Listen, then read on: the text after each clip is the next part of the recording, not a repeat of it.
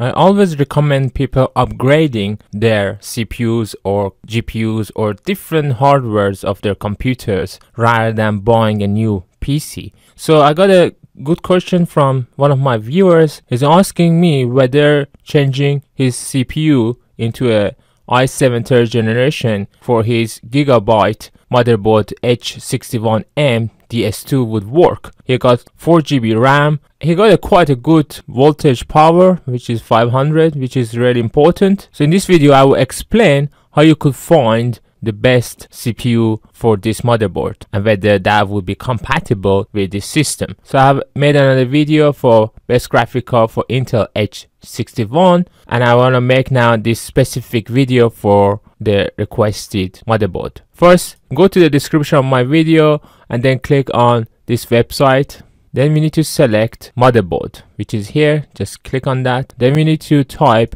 here H61 make sure that items that don't have price are included in the list. So after clicking on yes, and if you see the list disappear, don't panic. What you need to do is to go back to the search and type in the same thing, H61. And now we got everything without the price with H61.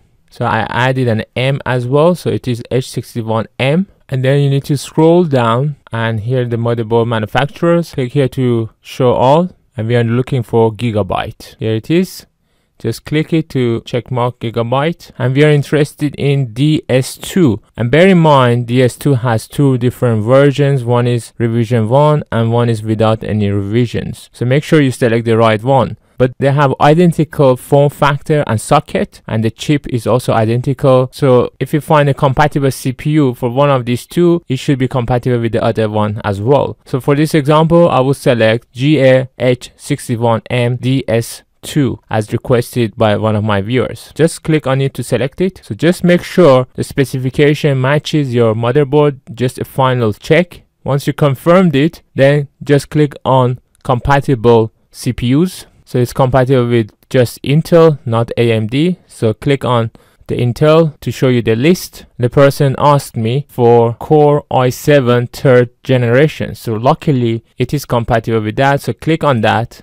So the result shows us that we can select four different CPUs and all from i7 and they are third generation. The only difference between them is the clock speed. As you can see, the highest would be 3.4 and the lowest is 2.5 so let's examine the specification in details so this is the best for the given motherboard the difference between the 3.5 gigahertz and 3.4 gigahertz is obviously a 0.1 gigahertz difference but in addition to that you got on 3.5 unlocked multiplier is available which means you can overclock your CPU to increase its speed further. So even though it shows as 0.1 difference, but you can further increase it. That's one advantage. Obviously, the more advanced a CPU, the more expensive it would be. So Intel Core i7 3770K 4 core 3.5 GHz would be the best option among the options that are available. But you will still need to make your decision based on your budget and what things you want to run. So if I scroll down here, it will show me the frames per second for the best model. According to this frames per second, which is 78, you can run various different games, but